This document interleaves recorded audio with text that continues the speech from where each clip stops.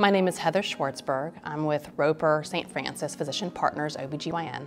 I have two facets of my practice. Um, one is delivering babies, um, which is always a joy to do. The other is gynecology and taking care of women through adolescence, through their childbearing years, up through menopause and then beyond.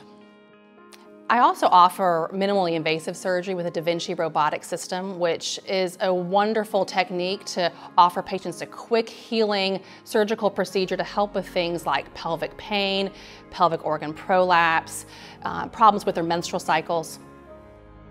So something about me that people would be surprised to know is that I've got five children. They bring me lots of joy, lots of hugs and kisses, and um, brings out like the sweet mommy part of me.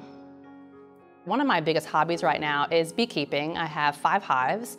I've been doing it for maybe about six years. Every once in a while I get stung and I don't like that part a whole lot, but I have a whole suit that I wear. I feel like it really helps the environment because there's been a huge problem for decades now and a significant decline of bees. And I think it's important that we take care of our resources.